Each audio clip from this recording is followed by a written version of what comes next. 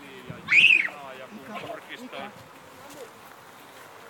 makuuhuoneen overraasta keittiöön, niin näen kuinka mun isäni Paavo palaa keittiön pöydän ääressä kynttilän valossa.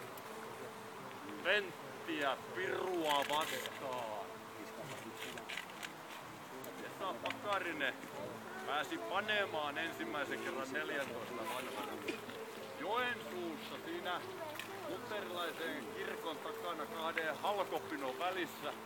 Pyytää vastikään kuppasairaalasta ulos laskettua huoraa. Mutta sanottiin majakaksi, kun se oli niin pitkää, sillä oli punainen nenä. Oli markkina-aika ja asialla oli ensin hilpeitä markkinasetiä kiemmurtelevana jonona. Ja sitten vihdoin viimein tuli tuo Esa-pojan vuoro, niin ystävälliset sedät festarilla niin kuin nytkin ollaan, niin maksoivat pojan puolet.